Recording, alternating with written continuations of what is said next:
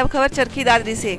रविवार को ज़िले के कांग्रेस जनों ने कांग्रेस वरिष्ठ नेता सुरेंद्र परमार के नेतृत्व में पूर्व सीएम स्वर्गीय चौधरी भजनलाल की शादी पुण्यतिथि पर उनको श्रद्धा, श्रद्धासुमन अर्पित किए। इस अवसर पर पूर्व ईटीओ कांग्रेस नेता सुरेंद्र परमार ने कहा कि प्रदेश में जो भजनलाल के ही सीएम रहे, जिसके शासनकाल में छत्तीस बिरादरी और प्रदेश के हर क्षेत्र में विकास कार्य हुए, उनका शासनकाल प्रदेश में स्वर्णम शासनकाल गिना जाता है। सुरेंद्र परमार ने कहा कि शासन व प्रशासन पर जो एक पकड़ भजनलाल की थी, वह अन्य मुख्यमंत्री मुख्यमंत्री से कहीं ज़्यादा रही हरियाणा के पूर्व सीएम भजनलाल की पुण्यतिथि पर रविवार को सुरेंद्र परमार ने दादरी में अपने पुराने समर्थक और कांग्रेस के कार्यकर्ताओं सहित श्रद्धांजलि अर्पित की। दादरी में इकट्ठे हुए सभी ने मूर्ति पर माल्यार्पण कर फूल चढ़ाकर श्रद्धांजलि दी। कांग्रेस के वरिष्ठ नेता सुरेंद्र परमार की अगुवाई में कार्यकर्ताओं व स्वर्ग भजनलाल को को नारे लगाकर वे श्रद्धा सुमन अर्पित कर याद किया परमार ने कहा है कि भजनलाल ने सदैव छत्तीस बरादरी के समान विकास के लिए कार्य किया और प्रदेश की उन्नति के मार्ग में अग्रसर करने का कार्य किया।